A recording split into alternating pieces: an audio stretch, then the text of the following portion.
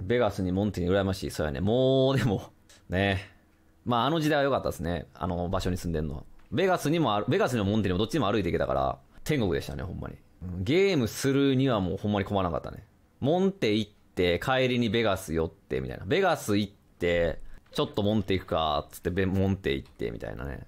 そう、ベガスは完全に溜まり場になってて、まあでもやっぱりそれで、常連ばっかりになって、まあ、一元さんが入りづらくなって、みたいな、そういう、まああの、個人系あるあるのゲーセンの道を歩んでしまったね。まあ、なんか聖地化してしまって、新規の人がいなくなってみたいなね。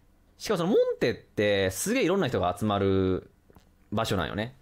あの、めちゃくちゃアクセスいいし台数も多いから、その、いろんなプレイヤーが、まあ、とりあえずモンテに行って、で、まあ、その、幅広い年齢の人とか、幅広い強さの人がみんな集まるゲーセン、やからすごい良かったんやけど、その、ベガスっていう、まあ、すごいちっちゃいゲーセンで、で、関西のサード勢が結構そっちに移行したんですよね。50円が、まあ、50円、あ、モンテが50円1クレ3本選手なんやけど、ベガスは50円2クレ2本選手でやってて、絶対そっちの方がいいんですよね。あの、ガチでやるんやったら。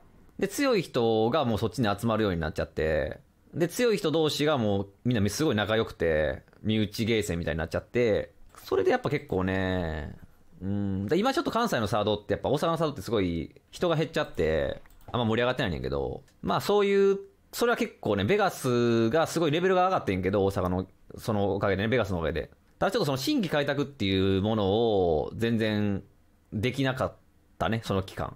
それがちょっと今、ベガスが潰れて、うん、響いてきてるのね、響いてきてるね。そうそう、常連しかいなくなるともう、基本的にはもう、厳しいからね。ゲーセンカード飲食店、あー、まあどこもそうよね。一元さんお断りみたいなね、雰囲気になっちゃうとちょっときついよね。天王寺のエース、あー、俺天王寺はちょっとあんま行ってなかったけど、あそこも一瞬だけあそこってストフォー、スパフォー AE の聖地になったよね。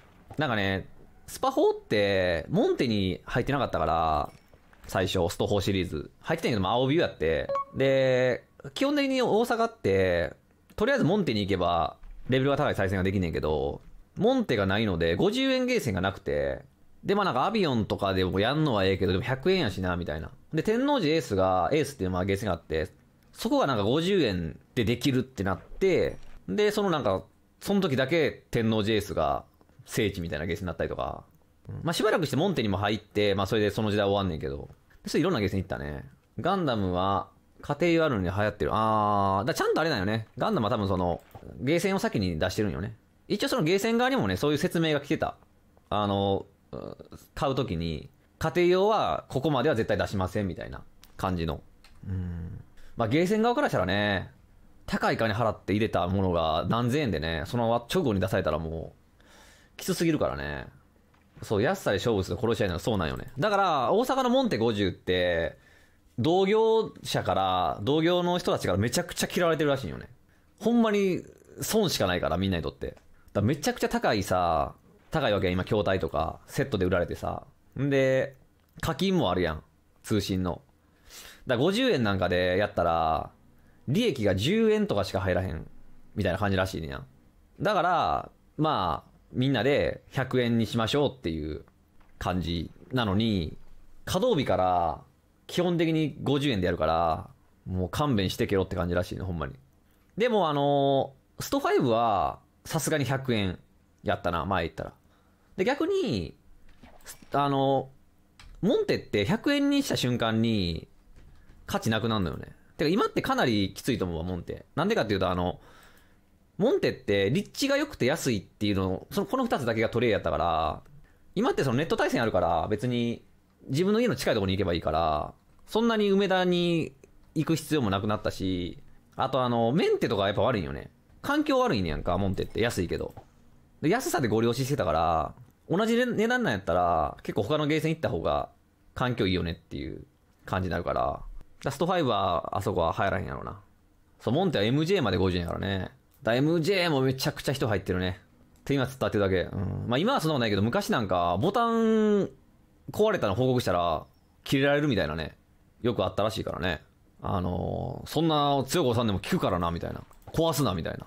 うん。で、モンテって基本的にあのーかなりメンテ悪いんですけど、めちゃくちゃメンテ悪いんですけど、あの、テトリスだけめちゃくちゃレバーとボタンがいいんですよ。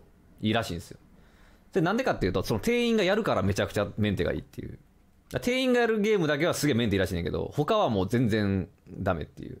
まあだからそういうあんまりこう、うん、だからほんまに安い以外はそんなにいいゲームじゃないんですね。てか店員おらんねんな、店員が全然。だからやっぱボタンとかさ、レバーとか効かんかったりとかさ、そのお金が流れたりした時にさ、すぐ店員呼びたいやん。全然おらんねんな、店員がとにかく。どこにおんねんと思ったら、一箇所に5人ぐらい固まってたりすんねやんか。ちれよっていう。まあ、いまあ、経営者も変わって、ちょっと新門では分からんねんけど、旧門ってはほんまに、そんな感じだったね。まあでもそれでもやっぱ安い人が多いから、まあまあ、門って最高って感じだったけど、新門でも変わらん。でも新門ってとかってさ、あの、朝の日の出からやってんの今も一緒なんかな？朝の5時からとかやってんやんか、門ってって。さすがにでも今のコロナ禍でそれやってたらすごいな。